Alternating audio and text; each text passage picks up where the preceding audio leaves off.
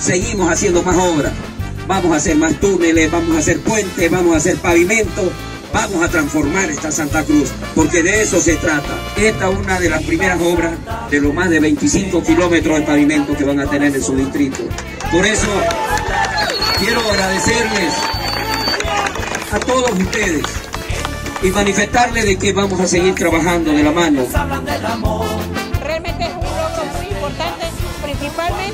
gracias a Dios en la gestión del alcalde Johnny Fernández se hizo realidad.